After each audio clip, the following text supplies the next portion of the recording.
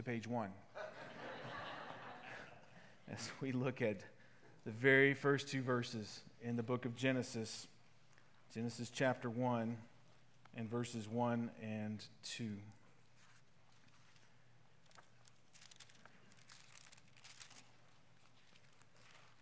fact, I got to just see even if my Bible will stay open because it's that far in the front here. Today begins our march through the book of Genesis in a message I've entitled Beginnings, a journey that's probably going to take us a year to complete. And we'll take a couple of stretch breaks in that year to celebrate Christmas and Easter, perhaps do a topical sermon, entertain a guest speaker or two, but just get comfortable, buckle in so we move through this first book in the Bible. Whether people realize it or not,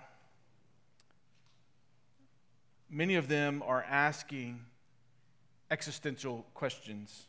Whether they say it out loud or not, they're asking existential questions, which is to say, questions about the very nature of what it means to exist. Questions like what is the meaning of life? On what basis is morality grounded? On what basis are relationships grounded? How is success defined? And how do we know if we're doing the right thing? Can I just point you to this? The answer to all of those questions that you need answers to is found here in the scriptures, existential or otherwise. Everyone looks at the world through a particular lens, everyone has a worldview, and each worldview has to answer at least four questions How did this all start? Why is it broken? Can it be fixed? And where is it headed? Every worldview has to offer an answer to those basic existential questions. And my contention to you is this Christianity offers the most robust and satisfying answers to each of those questions. The redemptive work of God, expressed in the gospel of Jesus Christ, is not only the answer to your questions, but it is the basis for your hope. The Christian faith is not a blind faith, it is not an unreasoned faith. The Christian faith is not only true, but it provides the best answers to the questions that we ask. We tackle the first of those questions today in these first two verses in Genesis. How did this all start? Verse 1 In the beginning, God created the heavens and the earth. Now the earth was formless and empty. Darkness covered the surface of the watery depths, and the Spirit of God was hovering over the surface of the waters. God created everything. That's the main idea. God created everything. Let me first begin by acknowledging the work of some of those who have helped shape my thinking on this book. Works by Allen Ross, Sidney Greidanus, Abraham Kuruvilla, Ken Ham, and Ken Mathews are my companions on this journey. You'll hear from each of them throughout our time in Genesis. And as a matter of context, it's important to acknowledge the various scholars have approached the book of Genesis. Ross says this expositors may simply retell the stories and then draw a few general lessons from them. The biblical narratives, however, are far more than illustrative stories. They are highly developed and complex narratives that form a theological treatise. Some traditions focus on the literary dimensions of the text. They give most of their attention to identifying the sources uh, behind what has been considered a unified work of Moses. Yet, in an attempt to identify sources apart from Moses, they end up dissecting the book like a biology project. There is an undue skepticism from each of these critical scholars. There is an unwarranted tendency to suggest that the material produced and presented in Genesis is the product of later religious ideas through the creative genius of Israel. Some traditions focus on the historical, ideological, and psychological elements of the text. Their primary purpose is in discovering the formation and the transmission of Israelite traditions in the oral sense. But this approach is highly subjective, leaving it to the interpreter to find the emphasis that holds the text together. Furthermore, it tends to misrepresent the relationship between the oral traditions and the ancient Near East. Some traditions focus on the form of the text, they emphasize genre, structure, and setting as the primary study. But form critics assume that poetic composition lies behind all of the stories in Genesis. In other words, they assume the stories are arranged to fit larger poetic purposes. Rhetorical critics make the same mistake in their emphasis of the rhetorical structure to the neglect of the historical and transmission of the text. There is an assumption that monotheism developed from polytheism, that miracles are unlikely and the records are not actual history. Like the literary critics, there's too much of an attempt to separate the narrative intentions of the writer by genre or rhetorical structure. And while recognizing these structures is essential, doing so without consideration of the historical or the narrative implications is counterproductive. The final written copy is the canonical text, the Bibles that you have in front of you. You don't have to wonder what God said or what God intended to say. The starting point for our study in Genesis is the scripture. That Genesis is a revelation from God, that Genesis is 2 Timothy 3:16, God breathed.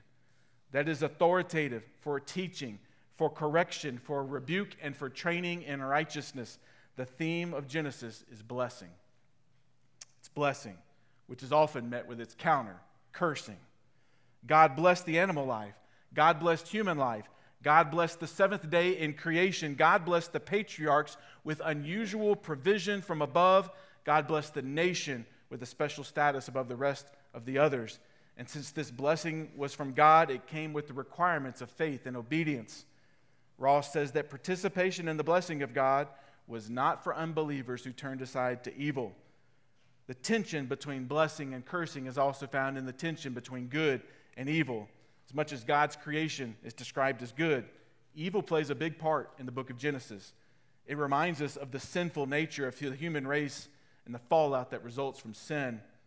The work of God transforms nothing into something, creation into complete and fully blessed and at rest. If the theme of Genesis is blessing, the purpose of Genesis is to describe the recipients of that blessing. The recipients are a people people that is established and preserved by divine intervention, a people whose offspring would be God's people, a people through whom all of the nations of the earth would be blessed. And the very first blessing of God was the creative work of God, his work in the beginning.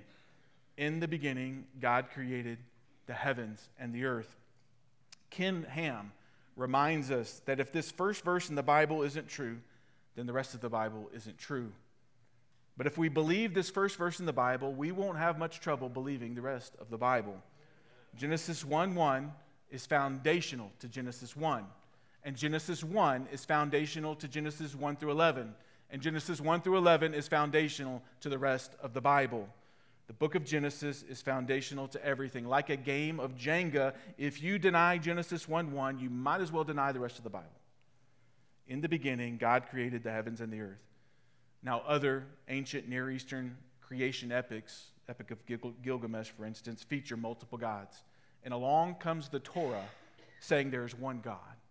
Other creation epics tell the story of a genealogy of gods who beget.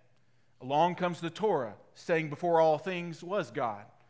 Other creation epics feature God Marduk, who had to create heaven and earth from the upper and lower halves of the slain goddess uh, Tiamat, who is the primeval sea. And along comes the Torah, who describes God as a craftsman in his workshop instead of a cosmic deity locked in mortal combat. Kuruvilla says the sovereign status of the Creator God is unchallengeable and the scope of his creative power all encompassing, negating other speculations of godhood and notions of creation. All creation comes from his hand to do his will. So, what do we make of Genesis? It's nature. Some view Genesis as a myth. For them, the mythical stories of Genesis are told to provide an illustration for truth. For them, myth is the natural language of religion.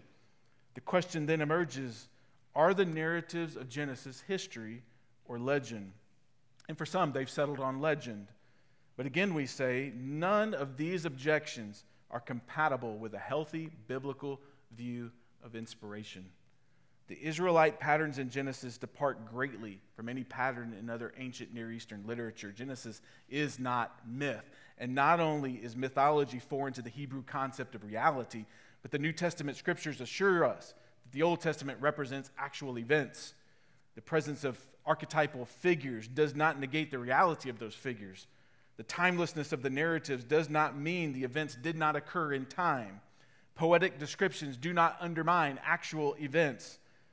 Yet the modern historian is often willing to describe, unwilling to describe Genesis as history. But most modern historians don't want to label Genesis as history because of the presence of religious ideas and supernatural elements that trouble them. But once again, it's not because Genesis isn't history, it's just because they're troubled. Modern history, it is presumed, can normally be verified by outside sources.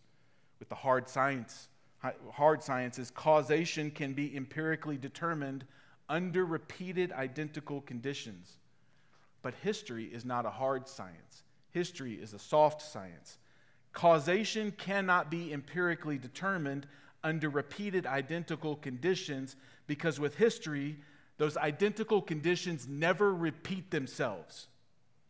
The facts of history are interpreted facts, both in modern history and in ancient history.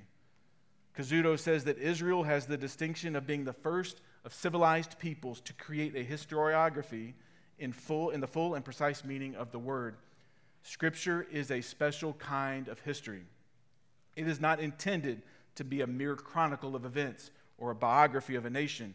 It's primeval history, the times of the patriarchs, the gradual incubation of a national consciousness among a people unused to independence. And yet, despite the historicity of the accounts, the concern of its author is not historical nor scientific. The author of Genesis was not grappling with issues arriving out of a modern scientific attempt to understand the structure, force, processes, and dimensions of the physical universe. He was not interested in the issues involved in modern debate over cosmic and biological evolution. In short, the author's primary concern is theological.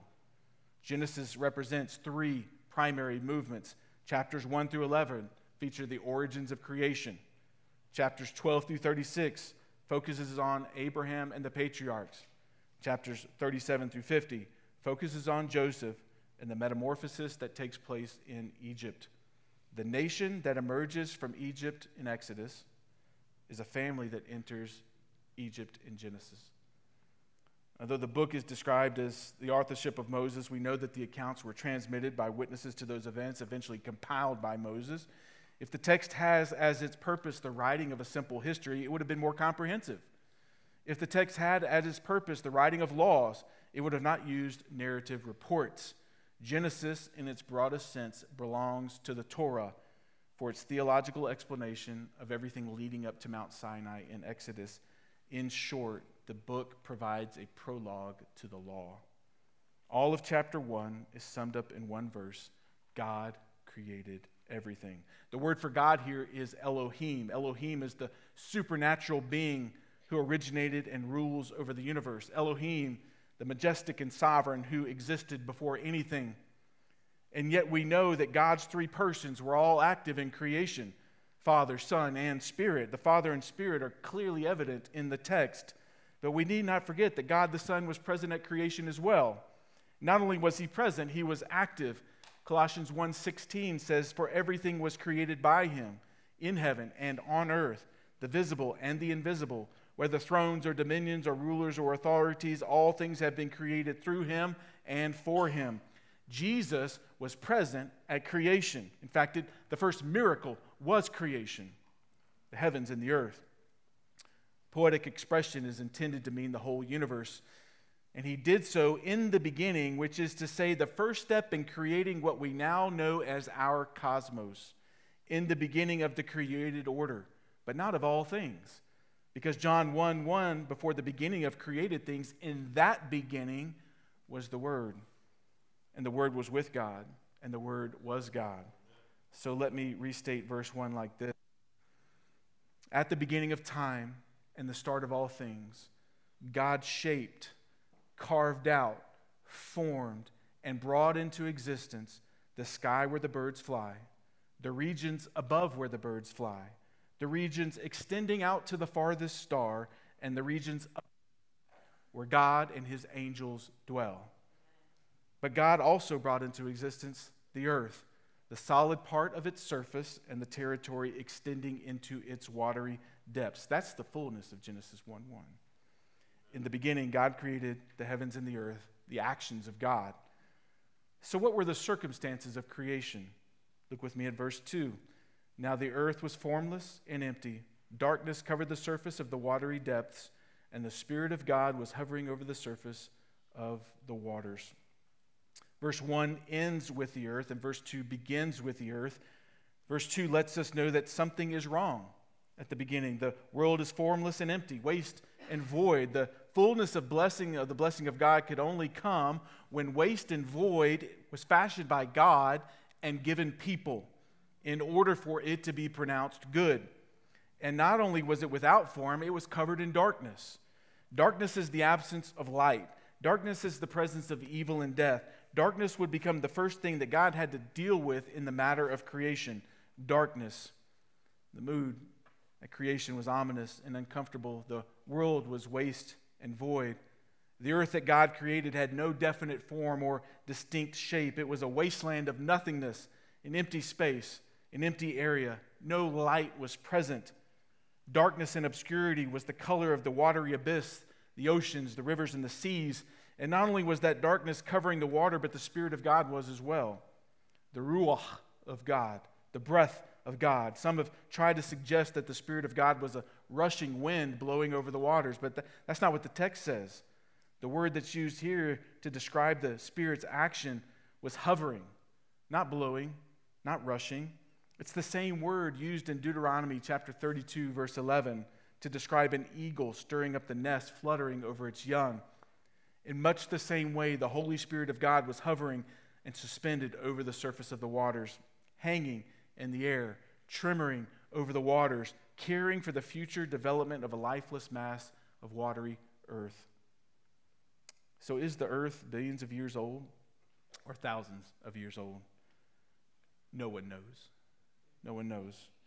There are dating methods that assert both. And those dating methods have underlying assumptions that are exactly that assumptions. There are conservative Christian scholars that assert a gap in time between verse 1 and verse 2, also known as the gap theory. They assert that Genesis 1 1 represents a summary statement of creation, and Genesis 1 2 begins with a recreation of sorts. Some choose this theory because it conveniently accommodates a modern geological dating. Some choose this theory because they ask the question what happened between Genesis 1 1 and 1 2? How did we get from a creation of nothingness, ex nihilo, to a creation of formless and empty, waste and void, darkness and deaths. What's the, what's from, is it nothing or is it formless and empty, waste and depths? Even the casual observer has to consider that something appears to have happened between verses 1 and 2.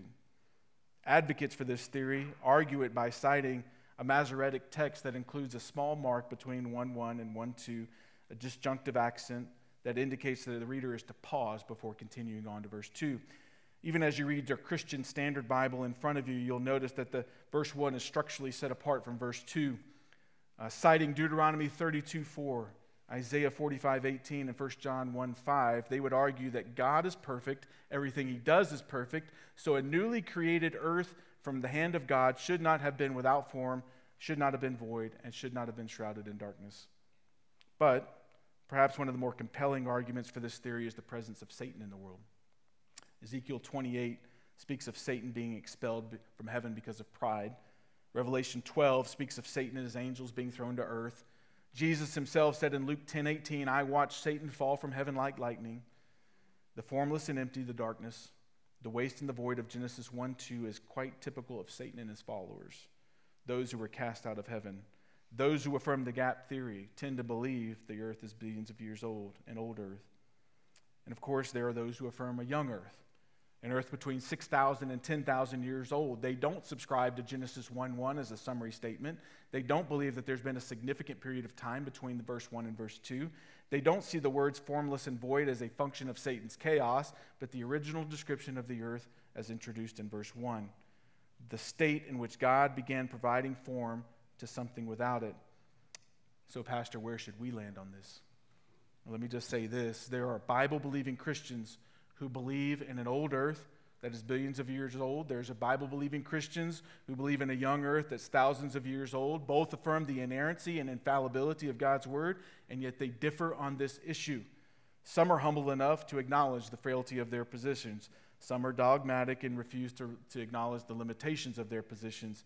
And to everyone who thinks they have it figured out, I will say to you, as God says to Job, Where were you when I laid the foundation of the earth? No one has the upper hand on this discussion, inside or outside the church, because no one was there when it happened. But let me just offer some more food for thought. If you don't believe in miracles, you can't be a Christian. The Christian should not be scared by the supernatural, they should be encouraged by it. Who wants to worship a God who's limited by the natural world? That wouldn't be God at all, that'd be someone like me or you. Let me also say this science and scriptures are not necessarily at odds. On one hand, because using the term science concludes that there's uniformity and consensus among a very large community who call themselves scientists. In short, there is no uniformity, there is no consensus, and there is no one person who speaks for the entire scientific community. Furthermore, any tensions which are apparent between the Bible and science are exactly that apparent. One commentator says this thoughtful Christians familiar with the claims of modern science recognize apparent disagreements between the Bible and scientific claims. Many of the biggest tensions, however, arise not from the findings of science, but from the philosophical assumptions of non Christian scientists. For the tensions that remain, Scripture offers principles for wisely navigating them in ways that honor God's revelation. In the end, because God is consistent with Himself, all apparent disagreements are just that apparent. And until we find their resolution, God has told us all that we need to know in order to trust Him. In our finite perspective, with our finite minds, it appears as if there's conflict. But just because something appears as if it's in conflict does not mean that it is actually is. So while we are not odds with the scientific community, let me also be clear Modern science does not stand in authority over the Bible. The Bible stands in authority over modern science. The Bible is not on the defense having to prove itself from a critique from the outside. Everything else, scientific and otherwise, has to be vetted through the lens of Scripture. God stands in judgment over his creation. God's word stands in authority over all things. We understand our world by first and foremost looking to God's word. Our response to Genesis is to recognize the enormity of God and the finiteness of creation. Our response to Genesis is to kneel down and worship our infinite Creator. We say with the Apostles' Creed, I believe in God the Father Almighty, the maker of heaven and earth. God, the one who made all things, the one to which nothing compares. God created everything. This passage doesn't give us points of application as much as it gives us implications. What are the implications of asserting that God created everything? Well, firstly, the universe had a beginning. The universe had a beginning. It was brought into existence, it was created by God. The Christian cannot entertain theories like the Big Bang, which so clearly contradict God's word. Who caused this Big Bang? Where did the material for this Big Bang come from so that it could happen? And after the bang went off, who arranged that resulting matter into form and gave it order? The Big Bang was not used to make the universe, but a Big Bang of sorts will be used to judge it. When at the end of time, God judges this earth by fire and makes all things new. Before creation, there was no earth, there was no time, there was no space. Apart from God, there was nothing, not even nothing. It couldn't be black because black is something. That's impossible for us to comprehend, but on some level, it should give us an appreciation for how big God is, how powerful God is, and how many things we simply do not understand. God brought into existence something that had no previous existence. Hebrews 11:3 says this, "By faith we understand that the universe was created by the word of God, so that what is not what is seen was made from things that are not visible." The things we see now were made from materials that didn't even exist, but God brought them into existence. So, what did God create? He created time in the beginning, He created space. God created the heavens, and He created matter. He also created the earth. He created time, space, and matter. But to say that something begins is to anticipate that it will at some point end. God began the universe with the end in mind. His final purposes in redemption, the new heavens and the new earth. Here's another implication to the assertion that God created everything. To say that God created everything means that God has no beginning. God has no beginning. The only thing that existed was God the Father, God the Son, and God the Spirit. Apart from God, there was nothing. If God made time, then God had to exist before time. God doesn't have birthdays, God doesn't age. He is Exodus 3:14, I am who I am. He is Revelation 22:13, the Alpha and the Omega, the beginning and the end, the first and the last. Psalm 92 says, Before the mountains were born, before you gave birth to the earth and to the world, from eternity to eternity, you are God. If God made the universe, then who made God? Many people will say that the universe came into existence by chance. They'll say that matter always existed, which is to say they have faith that matter always existed. They have faith that matter by itself came to have form, but that's a terrible faith because matter by itself never made anything. It takes intelligence to make things. Some have faith that matter just came into existence by itself and appeared out of nowhere and made everything. But in no other has anyone ever been able to observe that phenomenon. Their faith isn't just faith, it's a blind faith. But the Christian faith isn't blind. It's a faith based on what we observe, Romans 1:20, for his invisible attributes, that is his eternal power and divine nature, have been clearly seen since the creation of the world, being understood through what he has made. And as a result, people are without excuse. To look at planes, cars, computers, trains, and buildings is to assert that they aren't here by chance. Intelligent people designed and made them and the same is true for natural creation. To look at trees, flowers, animals, and people is to assert that an intelligent designer made them. A single cell, which is one out of a trillion in the human body, is more complicated than anything man has ever made, each containing its own programming and DNA. No one has ever made God. He has always been. He is infinite. He has no end. He has no limit. He is omnipotent. He is all powerful. Luke 137 says, For nothing will be impossible with God. He is omniscient, all knowing. Colossians 2 3 says, In Jesus are hidden all the treasures of wisdom and knowledge. He is omnipresent, He is everywhere, all at once. Proverbs 15 3 says, The eyes of the Lord are in every place, keeping watch on the evil and the good, the Alpha and the Omega, the beginning and the end, the first and the last, the great I am. Another implication of this text is that God is the true creator. He's the true creator. When we create things in the kitchen, when we create things on a canvas, a CAD design, on a keyboard, with a welding torch, we are showing ourselves to be made in God's image. We are mimicking God's creative work in the world. And when we create, we take things that already exist and we form them into something else. When God creates, he takes nothingness and creates it into something new.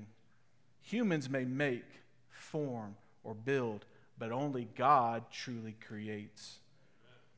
And finally, to say that God created everything means that God is the true sovereign.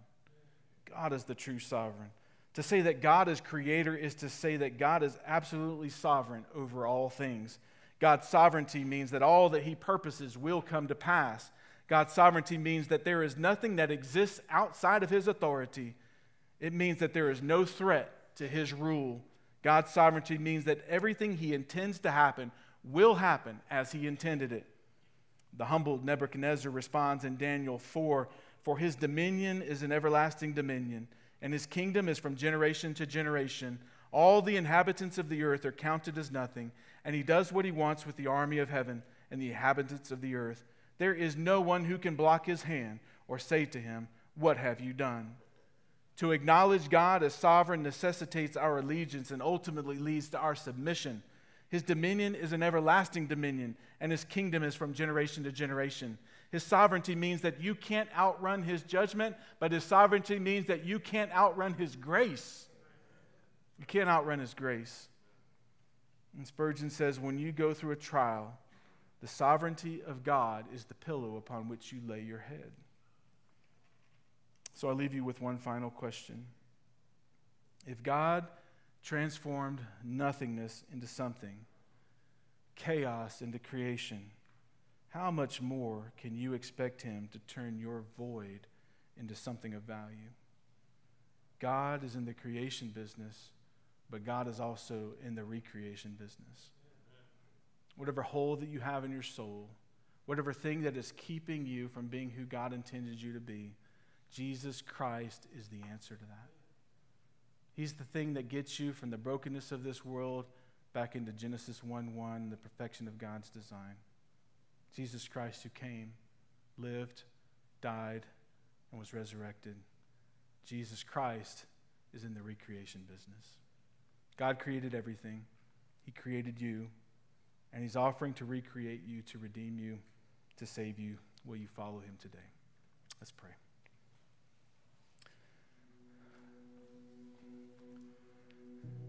in these moments before I voice the prayer, I just I want to just invite those of you who have never believed in Jesus Christ, who've been walking your own path, to consider God's work in the world. If God can do all of these things,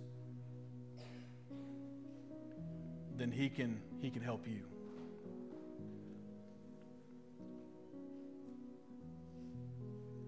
God's creation is good. And if there's any brokenness in the world, it's just because of our own sin. And that sin can be horrific sins like murder, or it can be little sins like telling a lie or disobeying parents and everything in between. But every sin has devastating effects on the world around us and on your life.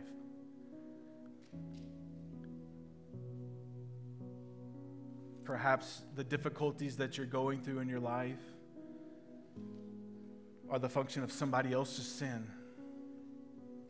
Maybe they've sinned against you. Maybe they've sinned in such a way that the ripple effects of their sin have, have touched your life But no matter what it is, you're, you're feeling the weight of that right now. Maybe, maybe the difficulties and the trials that you have are because of your sin. You made a choice and you're having to live with that right now. But the brokenness that you're experiencing, the difficulties that you're having in your life, whether it's a product of your own sin or somebody else's, it is sin that is at the root cause of everything.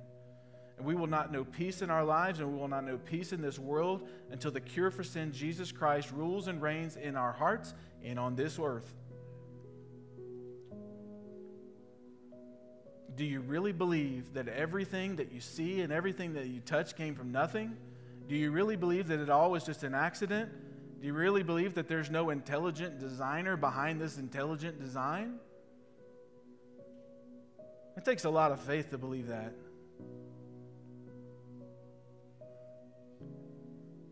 Not so much of a stretch to believe that in the beginning, God. In the beginning, God. And right now, God. Who wants to do a new thing in your life? Who wants to take you from where you're at to the place where He intended you to be, anyways? Will you believe in Him? Will you trust Him with your life? That's the invitation to you. To give Him all of you, all you are, for all He is. If God is leading you in that direction this morning, I want you to come find me after the service. Find one of our elders, find one of our ushers. Talk about what God is doing in your life. Let us pray with you. Let us walk with you. Father, we give you this time, this time of response, this time of celebration, this time of submission, this time of reflection. We give you this time in Jesus' name. I pray, Lord, that you would complete the work that you have begun in this world and in each heart. In Jesus' name we pray. Amen. Hey, welcome to King's Church. We're so glad that you're here with us. We are here to make disciples in Las Vegas who make King Jesus known in the world. And we do that by gathering, growing, and going. The best disciples are those who are serving inside the body or outside the body. So come join us for church on Sundays. Simple, relational, and biblical.